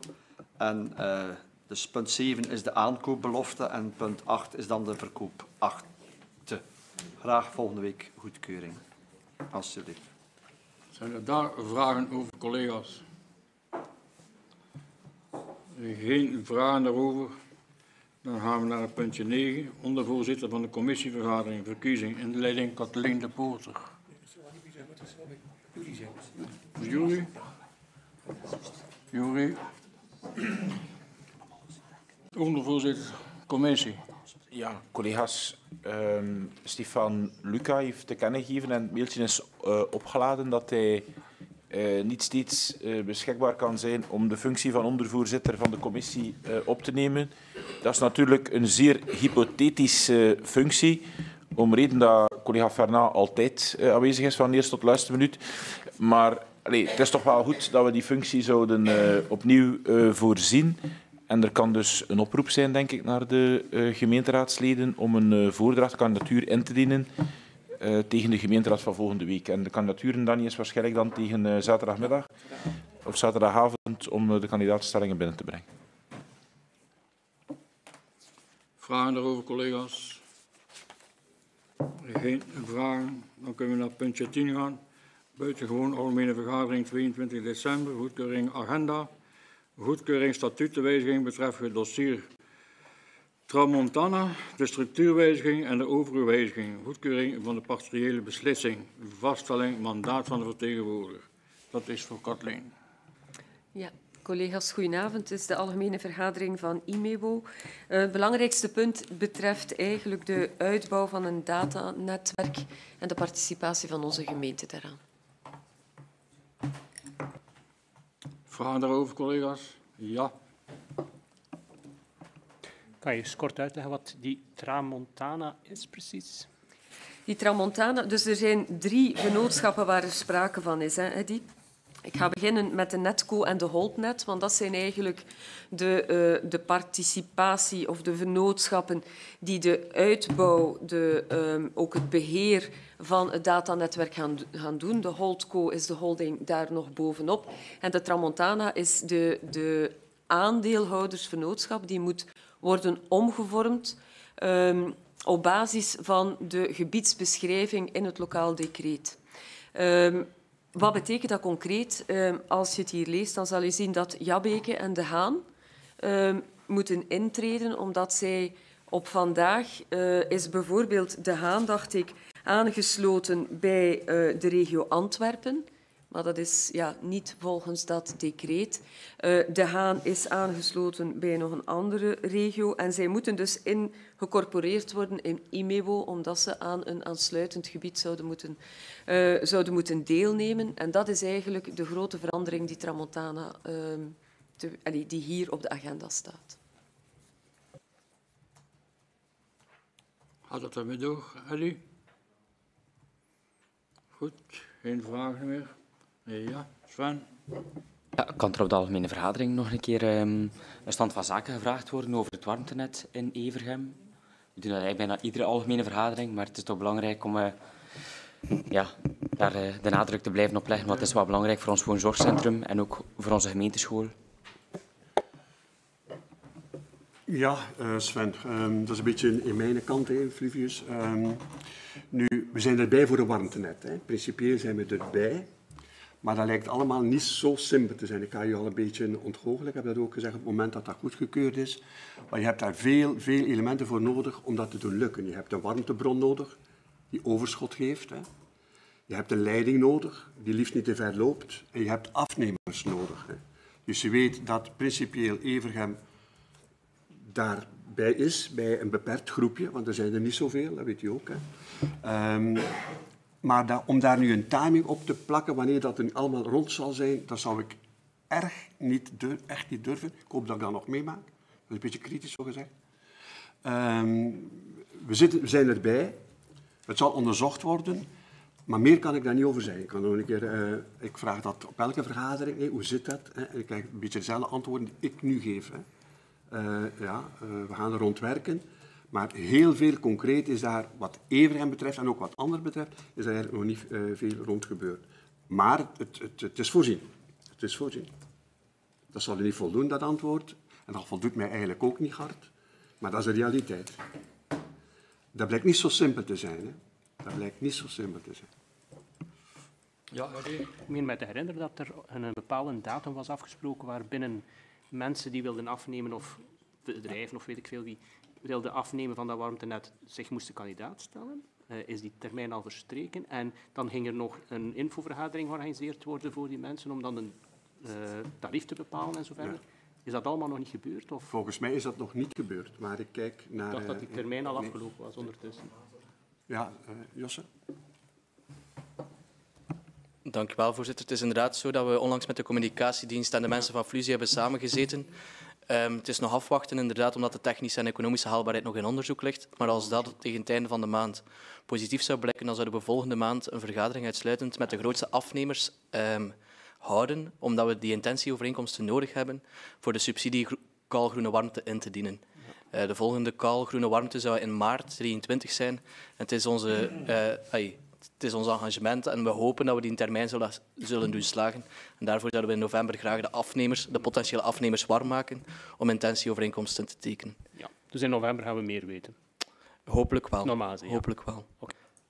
Het is zoals Rob zegt, we moeten realistisch in zijn. Die, die, timings zijn al herhaaldelijk opgeschoven. Het is soms wat wachten. De economische en technische haalbaarheid om te onderzoeken is toch afhankelijk van veel meer factoren dan dat, dat, soms, dat soms op het eerste zicht lijkt. Dus we hopen dat we die timing kunnen halen, maar dat is op dit moment in voorbereiding. Nog vragen erover, collega's? Geen weer. Dan kunnen we naar het volgende puntje gaan. Jaarlijkse toelage 11, 11, 11. Kathleen de Poelter. Kathleen. Collega's, uh, zoals jullie weten draagt de gemeente bij aan de inzameling van 11, 11, 11 op basis van de ingezamelde fondsen het jaar daarvoor. In 2021 uh, is er in onze gemeente 11.509,51 cent uh, gedoneerd. Vandaar dat wij dus op um, de 2 euro die uh, de 3 euro die ingezameld zijn, geven wij 1 euro als gemeente. En dat komt dan op een bedrag van 3.836,50 euro. Geen vragen? Nee. Kunnen we naar het volgende puntje gaan aanvaardingsschenking van 2000 euro door het Rode Kruis van Echtvelde met het oog op de aanschaf van bijhoorend AED-toestel. Kathleen? Ja. Um, ja, dit betreft een, een, een, schenking van 2000 euro inderdaad van het Rode Kruis van Ertvelde uh, voor de aankoop van een AED, zoals we gewoonlijk met de gemeente doen, uh, koopt de gemeente het uh, toestel dan aan en wordt het onderhoudscontract ook door de gemeente voorzien. Ook deze keer zal dat zo zijn um, en het AED-toestel zal in kluizen worden geplaatst. Geen vragen erover? Oké, okay, gaat vlug. Collega's, volgende puntje. De kerkfabriek Onze Lieve Vrouw in Troost van Wipperhem voor onze burgemeester. Burgemeester, zijn er nog van die kerkfabriek? Allemaal in één keer? Of? Collega's, het gaat om een... Het gaat inderdaad om een reeks uh, kerkfabrieken, waarbij dat er hier nu een voorstel komt voor het budget 23 en dat in functie daarvan dan de budgetopmaak zal gebeuren en dat die cijfers zullen ingeschreven worden in ons gemeentelijk budget van uh, 23. Um, ook met de kerkfabriek maken we eigenlijk bij aanvang van de bestuursperiode afspraken voor een periode van zes jaar. En uh, elk van die uh, kerkfabrieken die hier vandaag op de agenda staan voor budget 23 vallen binnen die afspraken. Dus dat is op zich goed nieuws. Dat is niet wat we tegenkomen met andere rechtspersonen. Uh, maar we kunnen ons misschien ook de vraag stellen of we daar dan niet een beetje uh, te veel marge hebben uh, gelaten bij aanvang van de, de bestuursperiode. Daar moeten we ook wel met onszelf eerlijk zijn dat zij in moeilijke budgettaire omstandigheden het kunnen behappen binnen de huidige kredieten. Ze doen ook inspanningen daarvoor om op vlak van energie de nodige maatregelen en dergelijke meer te nemen. Die zijn aan bod gekomen op het halfjaarlijks overleg dat we met de kerkfabrieken voorbije dinsdag hebben gehad. Maar dus zeer concreet voor de vijf punten, Fernand, de 13 tot en met 18 uh, zijn er kleine opmerkingen. Uh, iedereen dus binnen budget uh, meerjarenplan. Kerkfabriek Wippelgem voorziet wel de vernieuwing van de, de vloer in de voormalige pastorijwoning. Maar zij doen dat voor 24.000 euro met eigen middelen. Kerkfabriek punt 14 Ertveld is volledig conform meerjarenplan. Everhem is ook conform meerjarenplan. Zij het dat ze uh, een aantal voorziene investeringen waar we subsidies voor nodig hebben. Dat is hier al een paar keer aan bod gekomen, dat ze dat doorschuiven naar 23. En dat het absoluut niet zeker is dat daar in 23 subsidie voor komt. Dat ook de kans bestaat dat we dan nog naar 24 en verder zullen moeten, of moet ik zeggen, zullen mogen verschuiven. Uh, dat is voor wat betreft punt 15, kerkfabriek Everhem. En dan 16 en 17, die zijn ook volledig conform het uh, goedgekeurde meerjarenplan. Dus dat voor wat betreft de uh, budgetten 23. Budget wijziging 22. Daar heb ik mij bij de voorbereiding alleen afgevraagd, collega's, of dat we dat al een keer niet op de raad hebben uh, gebracht. Want dat gaat in punt 19 voor kerkfabriek Slijdingen over uh, een kleine bijkomende investering voor een nieuwe geluidsinstallatie. Uh, maar dat gaat ook bij hen over het doorschuiven van de, grote, de aanzienlijke kredieten voor de gesubsidieerde werken. Dus 260.000 eh, euro voor de binnenrestauratie en 390.000 euro nog een keer voor die binnenrestauratie die allemaal verschoven wordt naar 23, die tot vandaag niet is aangewend, maar wat we ook nog uh, totaal niet zeker weten dat daar subsidie gaat zijn in, uh, in 23, zelfs niet in 24. Dus uh, daar is het engagement van de gemeente op het ogenblik dat er subsidie komt, gaan we die werken uitvoeren, alleszins binnen deze bestuursperiode. Um, maar daar is nog geen subsidietoezegging, dat is voor punt 19. Punt 20, uh, aardvelden, uh, dat is een, een kleine verschuiving, wat op zich toe te juichen valt, dat men daar, en de vader van de co-burgemeester komt binnen, ja, uh, ja, ja. Uh, waar dat we daar eigenlijk zien dat de kerkfabrieken een kleine verschuiving doen binnen budgetten, waarbij dat ze wat hogere energiekosten hebben, maar waar ze ervoor kiezen om een deel van de kosten voor de schoonmaak te verlagen. En dat ze die bedragen met elkaar compenseren, dat gaat maar over een paar duizend euro. Uh, maar daar brengt men de krediet op die manier in evenwicht. Zowel voor wat betreft punt 20 uh, Sint uh, Hemelvaart als 21 uh, Kerkfabriek Everhem. Dus uh, geen budgettaire uh, consequenties, uh, voorzitter, voor elk van deze zeven punten. Dan vragen daarover? Ja. Kathleen? Ja, ik was, eh, Fernand, ik was eerst. Eh. Ah, ja, um, ja, alles is conform het jarenplan, eh, of toch een paar wijzigingen, maar nergens hoor ik uh, de energiekosten naar voren komen. En we zijn nergens problemen voor de energiefactuur te kunnen, kunnen betalen. En daarbij komen tot nog de vraag. Um, het wordt binnenkort gemakkelijker om zonnepanelen te plaatsen op erfgoed. Uh, dat heb ik uh, vorige week gelezen. Zouden ook kerkfabrieken geïnteresseerd zijn om zonnepanelen te plaatsen op hun pastorijen of op de kerken, waar dat dan mogelijk is, waar dat ze natuurlijk zongericht zijn, of een energiescan uit te voeren voor een kerkgebouw, want het zijn natuurlijk heel oude gebouwen met uh, dikwijls enkele beglazing. Ik denk dat er toch wel een paar quick wins te realiseren zijn op korte termijn.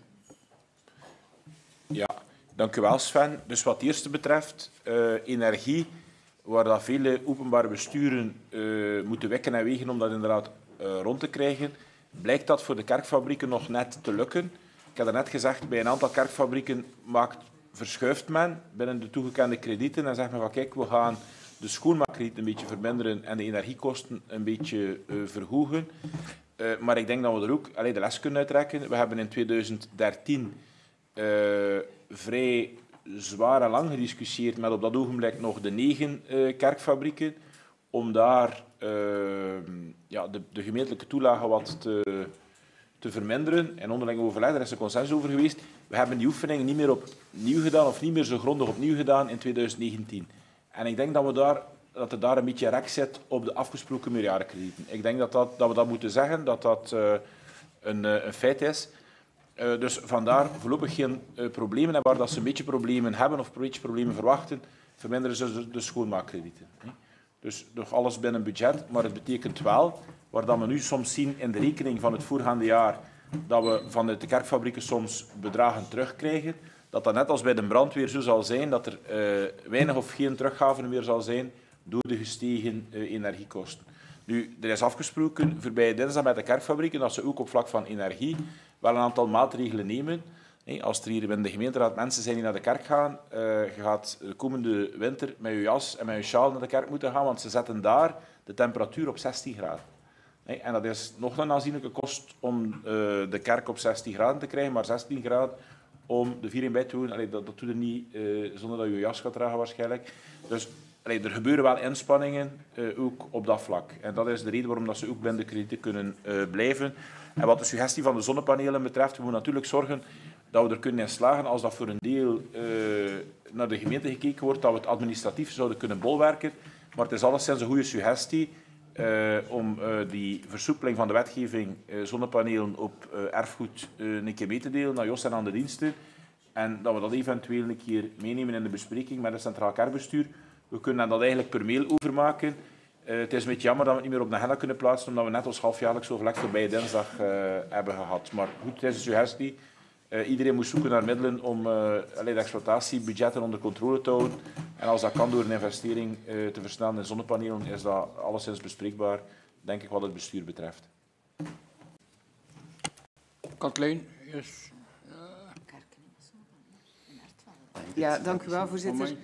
Um, de kerkfabrieken, hè, ik weet, de wet zegt, wij moeten dat doen, wij moeten dat betalen. Hè.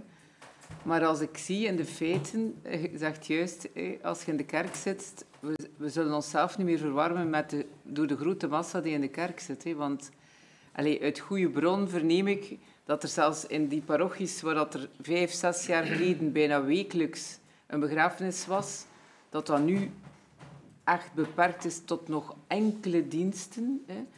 Uh, en dat zijn dan, ik hoor ook van mensen die zeggen, ja, er is nog één misviering. Ik ga lang niet meer op eigen parochie, want dat komt mij niet uit, dat uur of weet ik veel wat. Of ik ga niet meer naar de kerk. Zelfs mensen van oudere mensen die hun leven naar de kerk gegaan zijn, die niet meer gaan.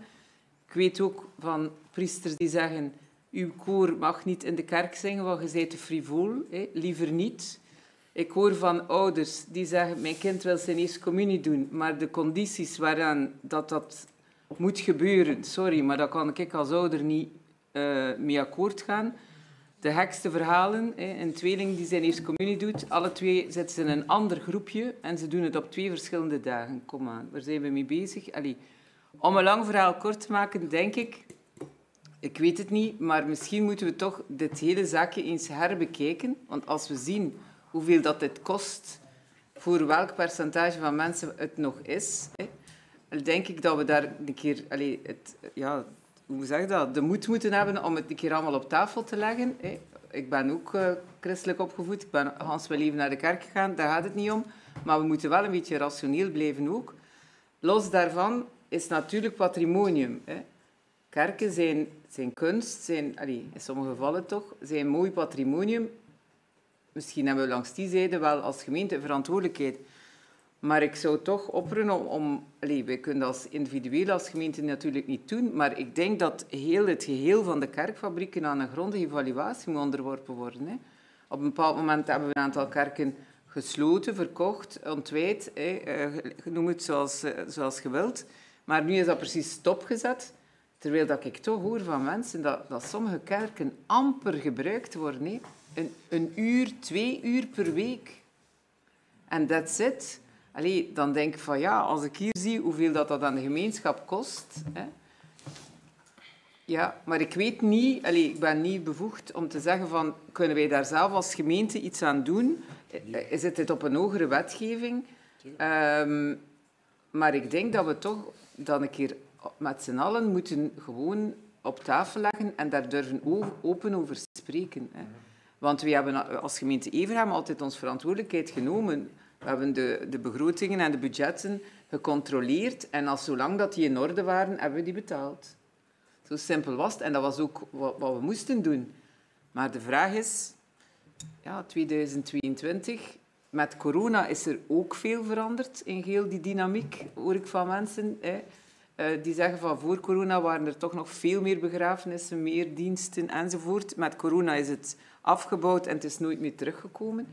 Uh, de mensen hebben de weg niet teruggevonden. Maar allee, ja, ik zou toch een oproep doen om, om een keer... Ja, ik weet niet met wie dat je er allemaal moet voor samen gaan zitten, om een keer te kijken van wat is nog hedendaags en wat is jammer genoeg van het verleden. Alles is in beweging, alles is in evolutie. Joke, doe ik een ding of nee?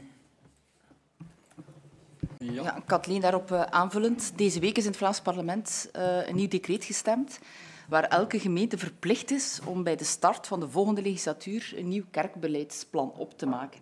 We hebben er een, maar dat is al redelijk oud. Dat is ook een hele procedure voorzien, maar je hebt er ook heel veel vrijheid als lokaal bestuur om te kijken hoe je dat opmaakt. En natuurlijk moet je dat doen met de lokale parochies, denk ik, en met uw kerkfabrieken, maar ook met uw verenigingen en dergelijke meer. Maar het gaat niet alleen over, om een plan. Er zijn ook heel veel subsidies voorzien, bijkomende subsidies, als je iets anders met die kerken wil doen.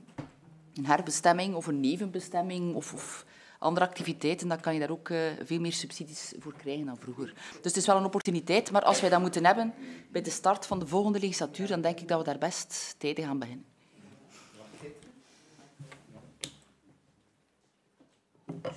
Ja, Mijnspel. Ja, burgemeester.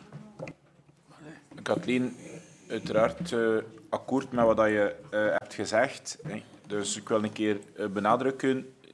13, het meerjarenplan voor de periode 13-19, is het de jaarlijkse bijdrage van de gemeente van 500.000 naar 350.000 euro gegaan. Dat is nog een, een heel groot bedrag. Wij hebben diezelfde grondige oefening niet gedaan in 19.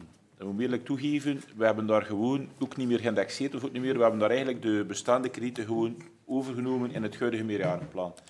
Ik denk dat, dat inderdaad terecht is, dat we in functie van het volgende meerjarenplan, wie dat er ook aan de kant van het gemeentebestuur aan zet is, dat we dat grondig moeten voorbereiden en dat we ook dat kerkenbeleidsplan inderdaad uh, moeten voorbereiden. Um, er zijn momenteel twee kerken die uh, effectief ontwijd zijn. Um, u kent de plannen met betrekking tot Riemen, waar we de participatie wellicht nog in dit najaar, alleszins begin volgend jaar, gaan opstarten, om daar dan hopelijk tot een gedragen voorstel te komen, waar dat dan de volgende bestuursperiode al dan niet kredieten vanuit de gemeenschap zal moeten tegenoverstaan. En er is een heel geslaagd project wat Kerbrugge-Langerbrugge betreft. De Hannekesnest dat is een succes, dat is een schot in de roes.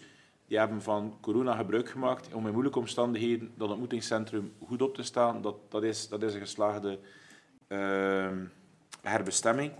Uh, voor de rest merken we wel dat er uh, wel een en ander beweegt uh, doorheen de jaren. En dat men vanuit de kerkfabrieken zelf daar toch ook wel wat ruimdenkender over is om een nevenbestemming te geven aan de huidige kerken. En ik denk dat zowat alle kerken momenteel geregeld dienst doen als culturele locaties. En waar dat er ook eigenlijk plannen zijn, en zelfs in ons meerjarenplan staan, en er is openheid aan de zijde van de kerkfabriek, om ook in Belzelen daarvoor een deel zelfs ontmoetingsruimte in de kerk te voorzien. Ik hoop dat we daar eigenlijk de komende maanden uh, stappen kunnen vooruitzetten.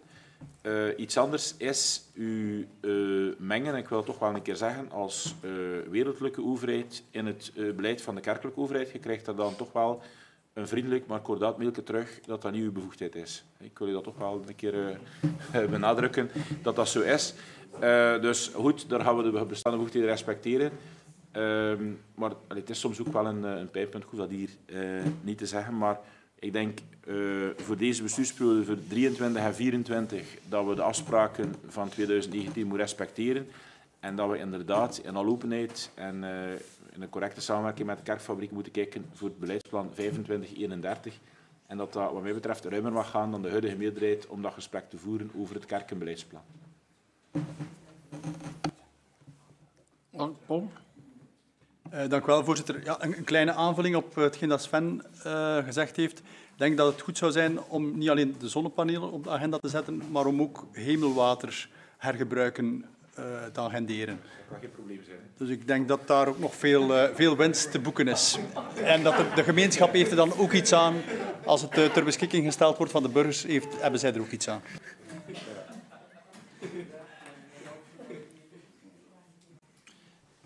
Ja. Filip? ja. Burgemeester, als een kerkfabriek tijdens de periode, dus tijdens de legislatuur, en dat is daar ongetwijfeld zit dat in die meerjarenplanning niet, een onroerend goed verkoopt. En daar belangrijke inkomsten van heeft. Uh, welke, op welke manier wordt dat dan nog binnen het budget gevoegd? En waar gaan die middelen naartoe? Zien wij dan dat de gemeentelijke bijdrage in die bepaalde kerkfabriek daalt in de komende jaren? Of wordt dat op een aparte rekening gezet en komt dat niet in de boeken voor?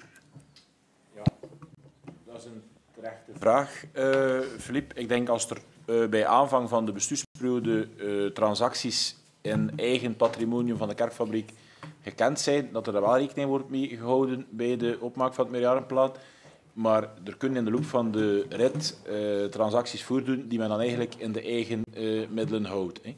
Ehm, ik, ik zie er twee voor, voor ogen. ik denk de kerkfabriek Ertvelde. Ik denk dat je daar een beetje naar verwijst. ja. en dan spreken een beetje de raadsels. En de kerkfabriek Doorzelen, het dossier van de kerkfabriek Doorzelen is volledig met, de, met het bestuur wel doorgepraat. Uh, maar ik stel voor, als je, allez, dat we daar een keer over hebben, uh, wat dat gekend is bij aanvang van de bestuursperiode, daar wordt rekening mee gehouden met opmaak van het uh, zesjarenplan. Volstaat dat, Filip? Of moet je nog wat meer weten? Oké. Collega's, zijn er daar nog vragen over? Over die kerkfabrieken? Geen meer? Dan kunnen we naar puntje 22 gaan. De feestdagen 2023 die op een zaterdag of op een zondag vallen. En dat is ook voor jullie. Ja, collega's, het is 1 eh, januari en 11 november in 23 die in het weekend vallen. En we nemen daar dan eigenlijk uh, brugdagen voor in de loop van het jaar die de brug maken naar een andere feestdag. Ik denk dat dat in ieders belang is. Dat wordt ook op die manier uh, besproken en goedgekeurd uh, door de vakbonden. Vragen daarover? No questions. Puntje 23. Goedkeuring aankoopakte verwerving Dallas Dreef. Dat is voor onze vriend. Ja, dank u voorzitter. Uh, een van de laatste uh, goedkeuringen van de aankoopactes. Uh, ik vermoed dat het nog niet de laatste is, maar de Dallas-Dreef is ondertussen afgewerkt, denk ik. Um, dus graag uw goedkeuring hiervoor. Geen vragen? Volgende week. Oké, okay, ik heb naar het volgende puntje gaan. Tijdelijk politiereglement. Verruiming 5 site Everham Beach. Kennisneming daarover.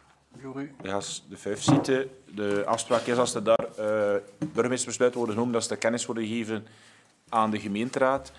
Uh, dat heeft te maken met de organisatie van Boebeats recent 1 oktober. Zij moeten werken met private uh, firma's, bewakingsfirma's. Er zijn daar tien professionals aan het werk geweest. En we hebben de vijf zitten daar in overleg met de diensten, met de veiligheidsdiensten ook, verruimd tot en met het volledige kermisstraatje. En dus niet alleen de site van uh, de scouts zelf, maar ook het kermisstraatje werd mee in de vijf site opgenomen. En dan moet er eigenlijk een besluit zijn van de burgemeester dat die private bewakingsfirma's ook op de openbare weg in het kermisstraatje bevoegdheden hebben om op te treden. Het is, eigenlijk niet meer dan dat uh, wat hier eigenlijk ter kennis wordt gegeven aan de gemeenteraad. Niemand? Oké, dan kunnen we naar het volgende puntje gaan. Dat is een vraag. Had u die nu stellen of had u die in de gemeenteraad staan? Nu? Gemeenteraad? Oké, wordt in de gemeenteraad gesteld. Collega's, normaal was geheime zitting, maar we gaan verder gaan en we gaan naar de Raad Maatschappelijk Welzijn. Oké, okay, daar is het eerste puntje goedkeuring huishoudelijk reglement. De Raad voor Maatschappelijk Welzijn is voor Rob Trunson. Rob. Eén keer duur op. Ja, ja dank u wel, voorzitter. Ja, de, dat is identiek natuurlijk aan hetgeen we daarnet uh, voorgelegd hebben uh, wat de gemeenteraad betreft. Dus aanpassen aan het gebeurlijk, hopelijk niet, maar misschien toch digitaal vergaderen. Dus er zal er geen vragen meer over zijn, zeker? Oké, dan kunnen we naar het volgende punt gaan. Welzijnsband Meetjesland, advies termijnverlenging. Beslissing, Leen IJsbaard. Leen. Ja, dat gaat over een uh, formele beslissing waarbij dat we de advies vragen voor de termijnsverlenging van de welzijnsband, die normaal liep van 2004 tot 2024. En we vragen voor te verlengen tot 2026, tot aan de start van de volgende legislatuur, zodanig dat iedereen dan de denkoefening kan maken om verder te gaan in de welzijnsband. Vragen, collega's? Nee, dan gaan we naar het volgende puntje. Reglement mantelzorgpremie versie 9, ook voor Leen. Ja, in uh, augustus um, zijn we met uh, het reglement versie 8 gekomen naar de OCMW-raad. Maar um, dan hebben we beslist, aangezien dat de Belrij um, nu gebruikt wordt voor de scoring voor de Vlaamse zorgverzekering, Uh, maar ze hebben de BEL-score die ervoor, ervoor in zat uit het reglement gelaten. En de vraag is om het terug in te zetten, zodanig dat de mensen die een erkenning hebben via het BEL-profiel voor een onbepaalde termijn hun uh, premie kunnen behouden zonder dat ze terug uh, volledig moeten gescoord worden. Dus vandaar dat we de BEL-schaal ook terug uh, in het reglement zouden zetten dat is er eigenlijk een misverstand uitgegaan. Ook vragen daarover, collega's? Geen vragen? Ja, Kathleen? Lien, per, per misverstand, is, is het een administratieve fout? Of, of je kunt Ja. toch iets niet per misverstand... eh, Ja, wel, de administratie had, eh, omdat de Baalraai de nieuwe schaal is, die erin gezet en de Baalschaal eruit gedaan, omdat die bij nieuwe aanvragen niet meer gebruikt wordt. Ah, ja. Maar dan hebben we gezien dat er heel wat mensen zijn die, een erkenning hebben gekregen. Bel. er die voor twee jaar krijgen of voor een jaar, die sowieso moeten herscoord worden in de Baalraai. Maar die dan erkend zijn voor onbepaalde duur, die zouden dan allemaal moeten teruggescreend worden. Dus als we dat daar terug inzetten, dan kunnen die mensen gewoon hun mantelzorgpremie behouden, zonder dat ze terug al die administratie moeten Ja, doen. oké. Ja. Dank je wel. Anders geen vragen.